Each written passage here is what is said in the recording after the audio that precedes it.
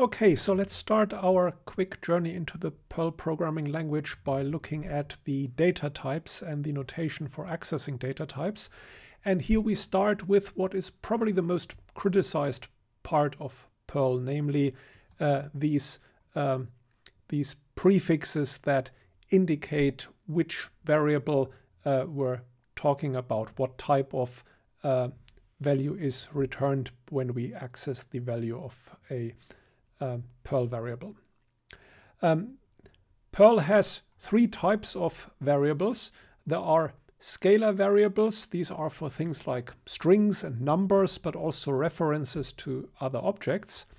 Then there are arrays of scalars, and there are associative arrays, also known as hash tables. And each of these three data types or types of variables um, is named in its own namespace. So there is one namespace for scalar variables, there's a namespace for array variables, and there's a namespace for hash tables. And as a result, in the same program, you can have with dollar $days a scalar variable and with at days an array and with percent %days a hash table of the same name. To refer to an array element, you follow the name of the variable with square brackets, whereas to query a hash table, you use uh, curly braces. But what may seem initially a bit confusing is that this initial uh, letter, or sometimes also called a sigil, uh, the dollar sign, the at sign, and the percent sign, is not selecting which namespace the following name is taken from. It instead indicates what type of value you can expect as a return. So if you uh, access the array days, which is on its own written as at days, by accessing it with square brackets, then the square brackets here indicate that whatever appears before here as a name comes from the array namespace. But in the language, it's still preceded by a dollar sign because what is returned by this access to an array is in fact a scalar value. So this was motivated a little bit by uh, being like a pronoun, that a dollar sign indicates what now follows is like singular, whereas an at sign indicates whatever is coming now is uh, plural. Um, So here we see a, a reference to the uh, 29th element, because arrays start with zero, of the uh, array days, whereas here we look up uh, the value associated with the key February in the uh, in the hash table days. There's also this syntax if you use the number sign followed by days that is the last index of the array at days. you can also write out the entire array days as this comma separated list of the individual elements which start with dollar $days 0 and go all the way to dollar $days and this is the index of the last array. there is also a so-called uh, slice syntax where you can refer to multiple uh, elements of an array, for example, the element number 3, 4, or 5, which you can also refer to by 3 dot dot 5. And because here you actually return an array and not a scalar, we have the at sign here in front. Similarly, if in a hash table re refer to multiple keys, then what you get back is an array of the values associated with these keys, which is why you see here the array sign. You can also assign uh, to a hash table an array and then the uh, elements of the arrays will be interpreted as pairs of key value, key value, and so on.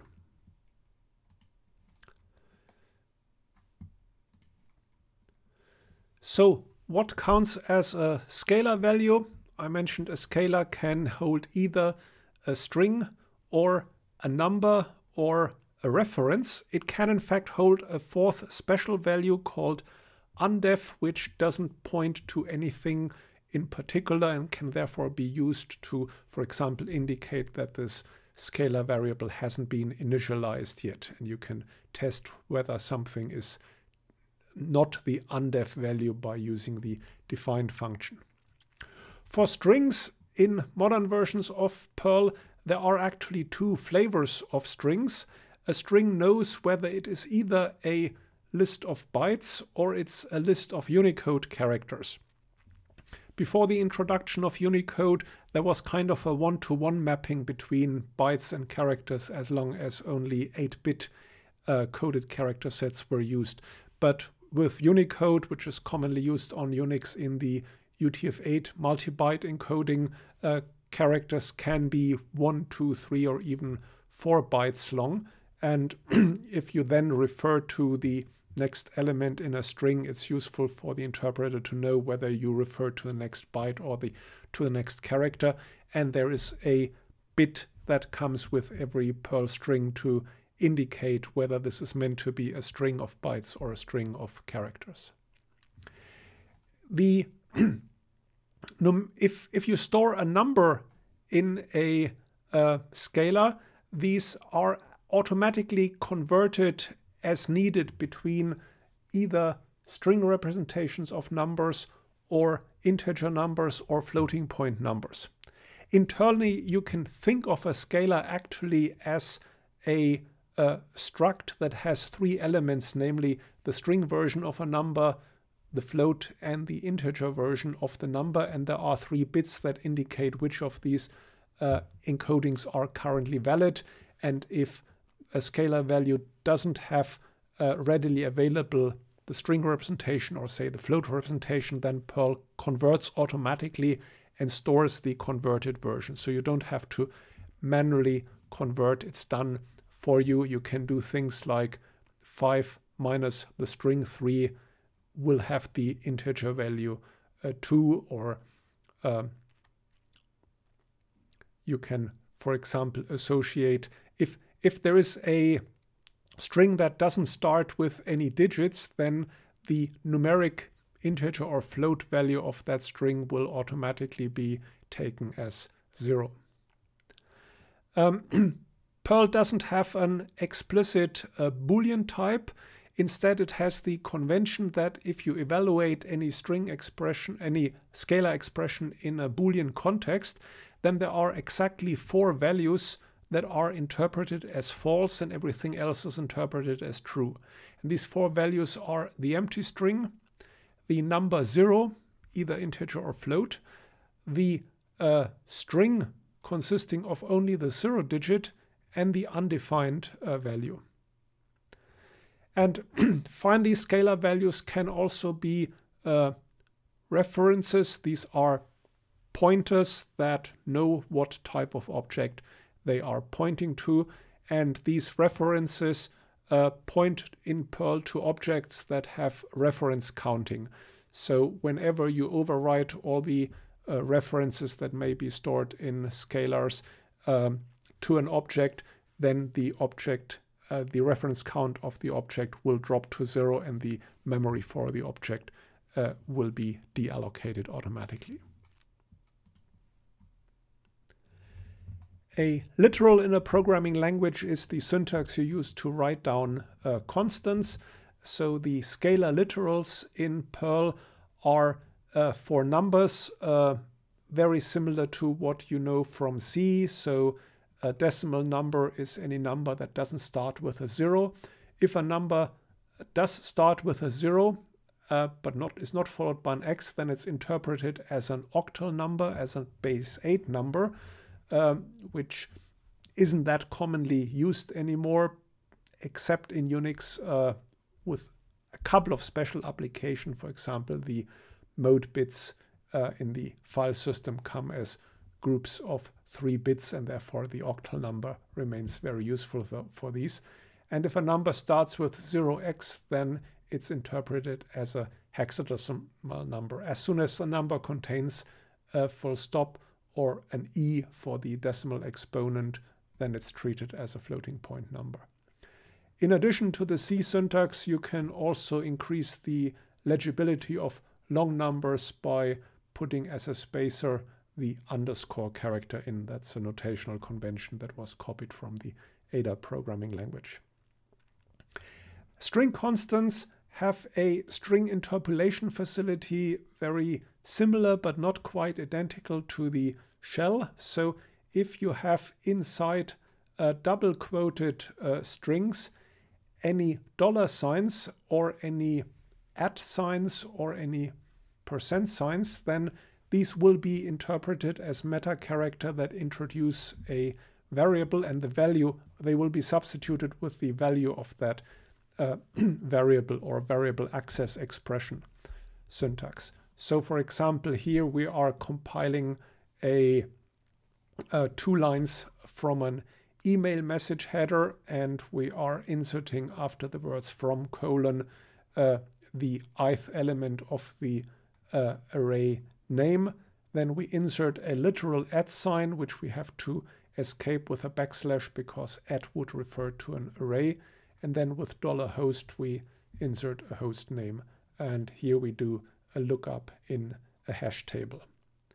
In single quotes, only the backslash and the uh, and the backslash uh, single quote are meta characters. So, or, so only the backslash is really a, a meta character. And if you have another single quote inside, you have to precede it with a backslash. Uh, this is slightly different from the shell, where even the backslash is not a meta character in the single quoted string syntax. Uh, strings can contain line feeds. Uh, so if you want to uh, include multi-line text, you can just start with a string at one end and end the string many lines later. that has a little bit the risk if you uh, forget closing quotation marks in a string, then Perl will just read the string to the end of the file and then complain that it didn't find the closing quotation mark. Um, fortunately, the syntax highlighting in modern editors will immediately allow you to find where you made this mistake. So this is not actually too difficult to get out of. And also copied from the shell with a couple of extensions is the so-called here docs. Uh, you can uh, use in any Perl line double less than sign followed by the name of an end of text terminator, for example, here simply EOT, and then the subsequent lines up to and excluding this end of text terminator will be inserted as a scalar value into the Perl expression at this point.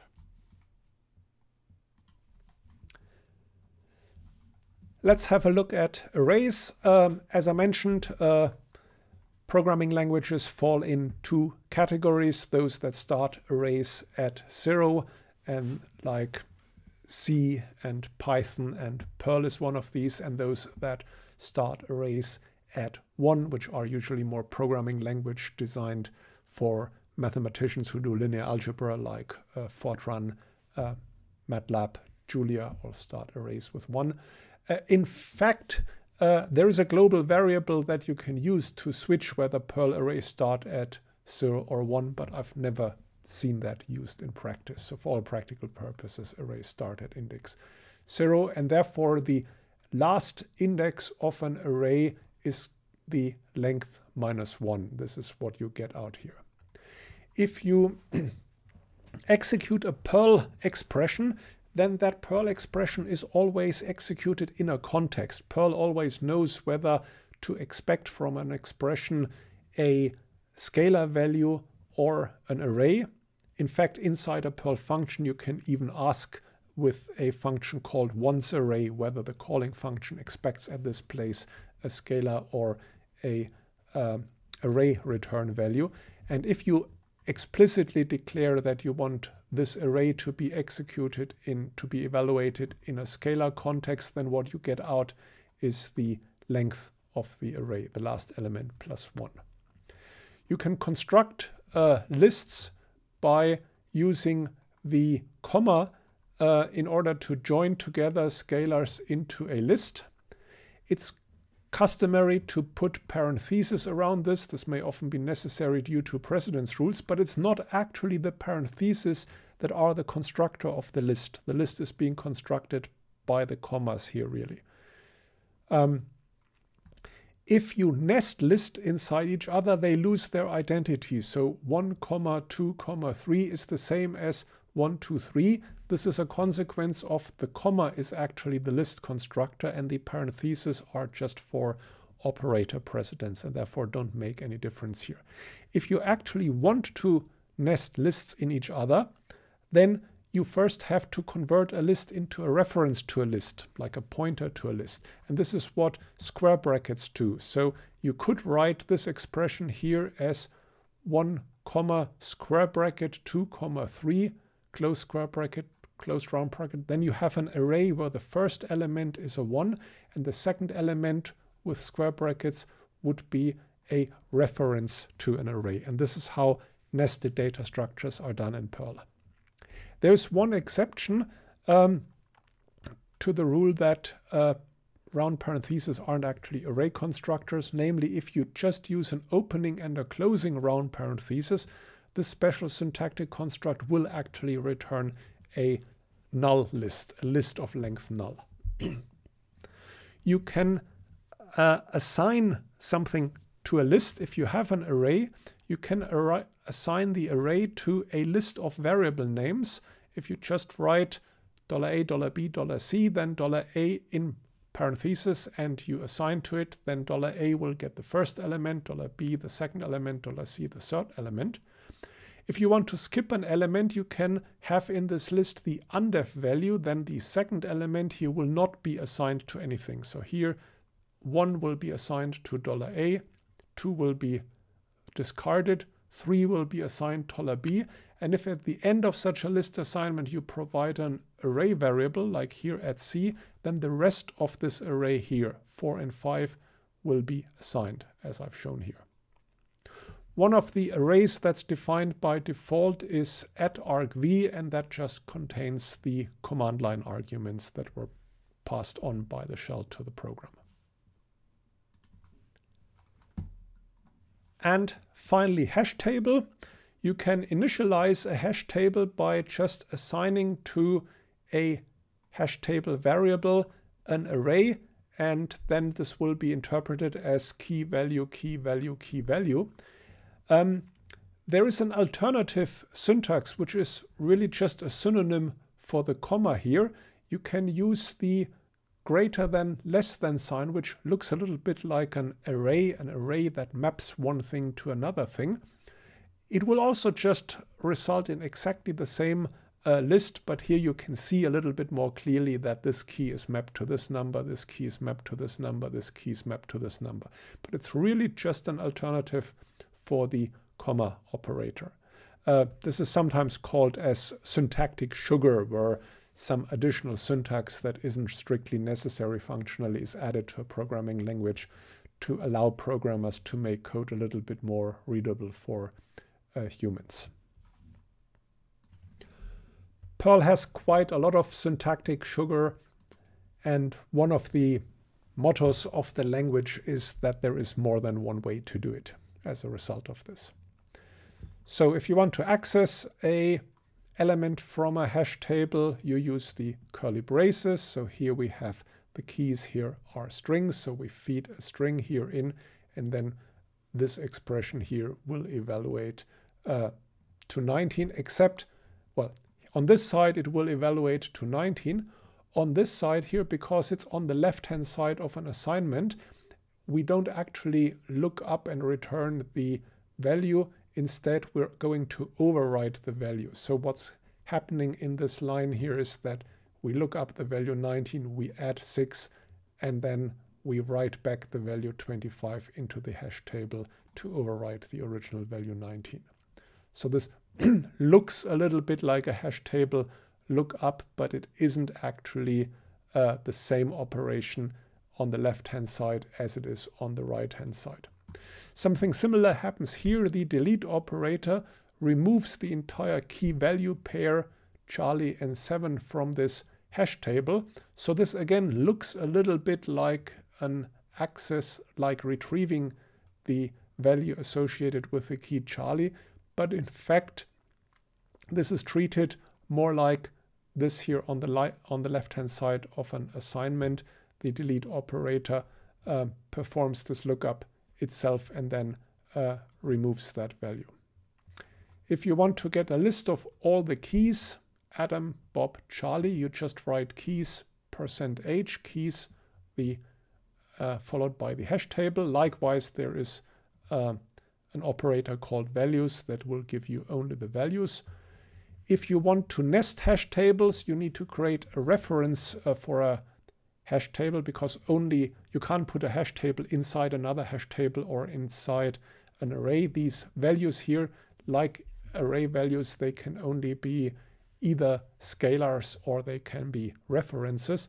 So to nest something, you uh, define a hash table by surrounding the list that defines the hash table with curly braces. So if you wrote here curly brace uh, Adam 19, Bob 22, Charlie uh, 7, then you would have received a, a, reference and that you would then have to assign to a scalar variable because scalar variables can contain references. One predefined hash table is %env and that contains the environment variables that the shell has passed on to the Perl process. And for more information about uh, Perl variables and data structures, please refer to the Man perldata Manual.